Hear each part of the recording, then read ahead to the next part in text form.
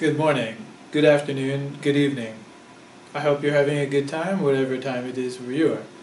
This is the second in a series of flips about critical thinking for a class at Hokkaido University of Education. Again, this class is both about critical thinking and about learning English.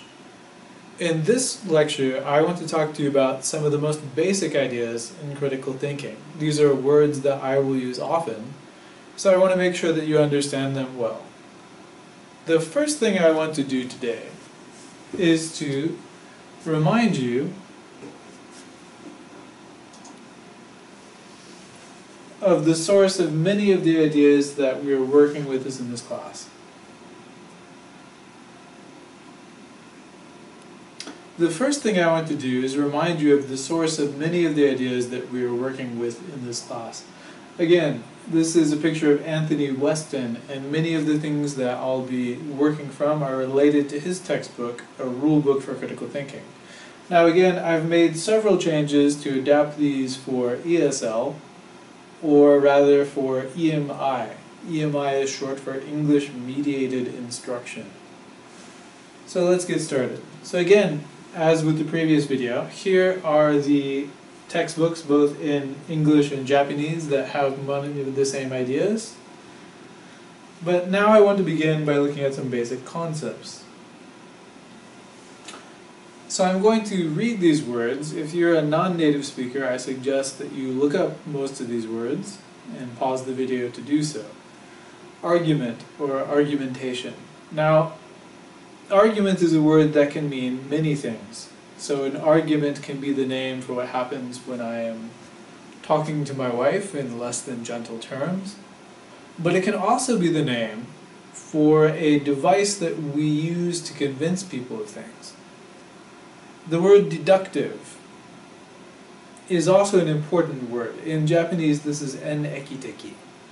So you might not find the best definition for this term in a regular dictionary, but that's okay. We'll spend the next five weeks or so learning about what that term might mean.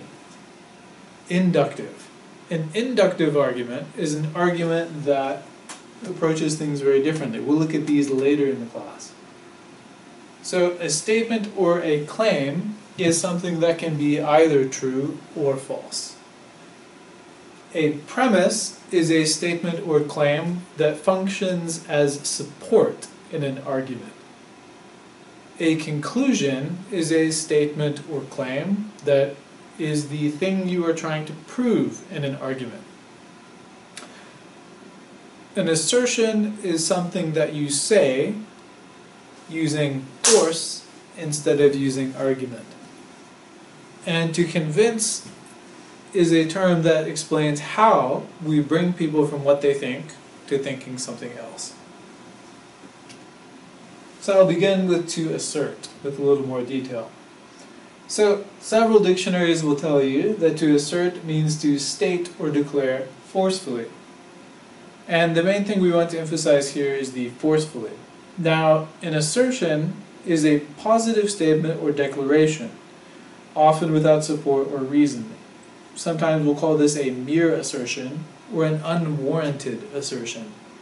So this is also a concept in computer programming. An assertion is something that you do without any support or necessary justification. It's a very strong way of deciding something. In critical thinking, assertions are usually bad things. To convince is to cause someone to believe firmly in the truth of something. So there are many ways to convince people. You can use emotions, you can use logic, you can use physical force. In critical thinking, we are hoping to convince someone using arguments. So I want to talk about how we move from assertions to arguments. So life involves disagreements. If we disagree without reason, we are merely making assertions. To think logically, we need to replace assertions with argumentation. Beyond acting as a tool for inquiry, arguments allow us to defend the conclusions we reach through them and explain why to others. So this is one of the biggest benefits of critical thinking, is that by using critical thinking, we can say things in a way that other people can understand them and accept them. Arguments generalize the things we say. In this way, argumentation is convincing in the public sphere. Now, critical thinking works by understanding most of language's arguments. For our purposes, we're going to define argument this way. An argument is a sequence of statements, of which one is intended as a conclusion and the others the premises, which are intended to prove or support the conclusion. So let me explain just really brief, briefly what that means. It means that if we have a conclusion we're trying to reach, we will have one premise, one premise, one premise, and then the conclusion. Sequence means that they are in order, one, two, three, four. And that they are premises and a conclusion decides the types of things that we are saying. The most important part of this is that each and every one of them needs to be a statement. If we follow this method, then we get to the bottom here. Arguments are a method of inquiry with the goal of leading us to the truth. Or at a minimum, they provide a way of finding out which views are better than others. So, this means that logical arguments provide an objective way to handle disagreements. Now, a statement, this is a very important term for us. A statement is a claim that can be either true or false. Consequently, statements are usually, but not always, stated declaratively. So, even if that doesn't make sense, even if you don't know the English grammar, we're going to talk a little bit about the things that are statements. So I'll give you one good example. The sky is blue. This is a true statement most of the time. How are you? This is not a statement. How do we know? It's very simple. We can ask ourselves, is this true or false? So if I say, how are you? I don't know if that's true or false. It's a question. I could have many, many answers, but it itself is not true or false. If I say, gosh, this also is not true or false. There's no content in this. There's nothing in the world that would make that true or false. If I say, I don't like you, we'll talk about this at another point, but for now let's just say this isn't a statement. There's no way for me to know whether this is true or false. It's just something someone is saying. So let's test ourselves. So I'm going to say something. You tell me whether this is a statement or not. Ouch. This is not a statement. This is just, I feel hurt. But it's not even saying that. What is your name? Is this a statement? No, this is not a statement. How about this one? The sun is blue. Strangely, this is a statement. So, some of you might think, no, this can't be a statement. This is false. But statements are not not statements because they are false. Again, the definition of a statement is something that can be true or false. If something is false, that probably means it is a statement. So this is a statement. Next one. The sky is red. This is also a statement. Again, it's a false statement.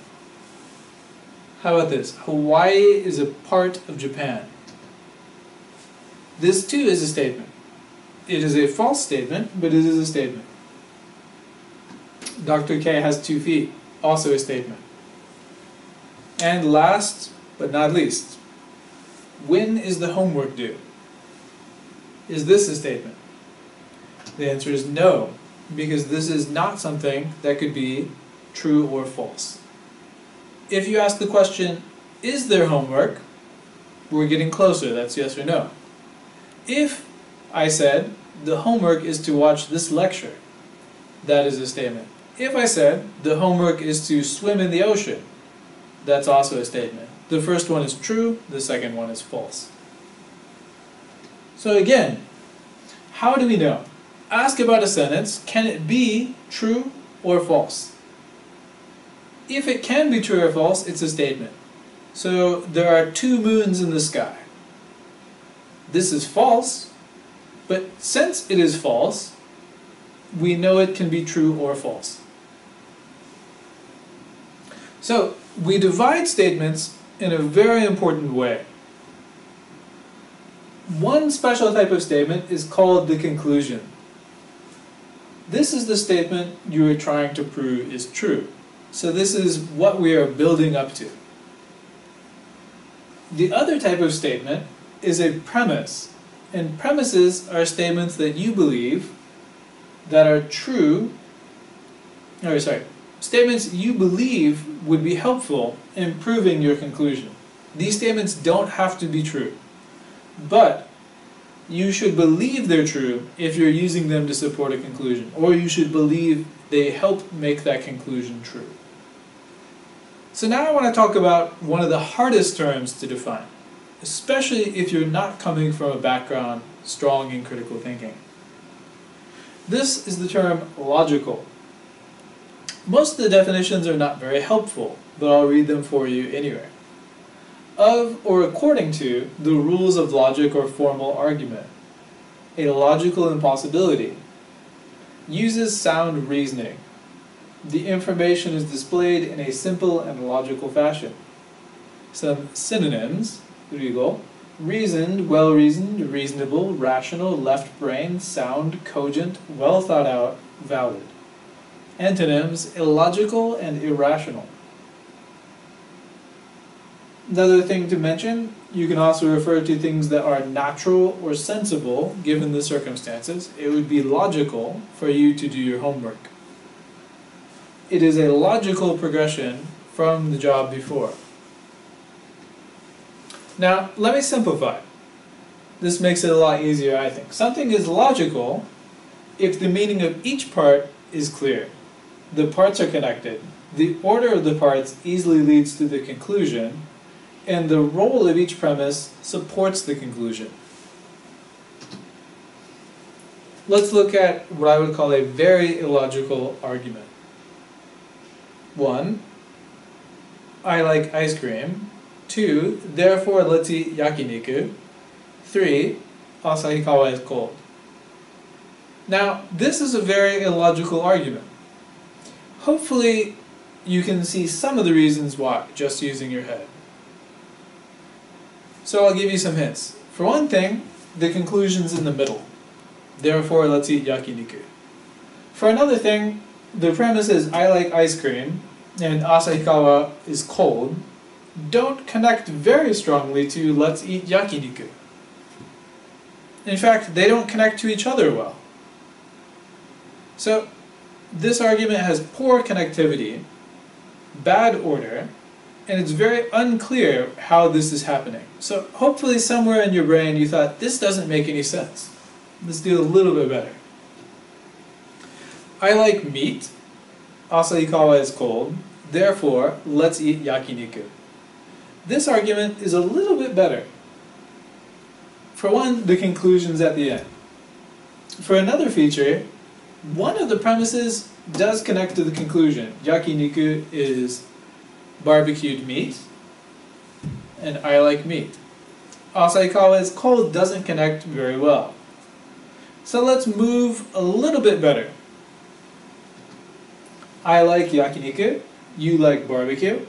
Therefore, let's eat yakiniku. This is a much better argument. Both of the premises connect to each other, and they connect to the conclusion, and they're in order. It's not a perfect argument, but it's a step in the right direction. I want to look at two more arguments with you, and then we'll call it a day. Sample argument 2. If carbon emissions will go up, then the ice caps will melt. Carbon emissions will go up, so if these are the premises, I hope you can guess what the conclusion is. Therefore, the ice caps will melt. So again, the first two parts, premises, these support it. Last part, the conclusion, is what we're trying to prove. So let's go on to one more. So building a Disneyland near Tokyo increased traffic to Chiba. Two, Disneyland Hong Kong increased local traffic. Therefore, building a Disneyland in Asahikawa will probably increase traffic on the Hokkaido Expressway. Alright? Where are the premises? Answer. The premises are up here at the top. And the conclusion is here at the bottom. All right, this is Andrew Komasinski at Hokkaido University of Education in Asahikawa, and you have been watching a flip for the class Critical Thinking.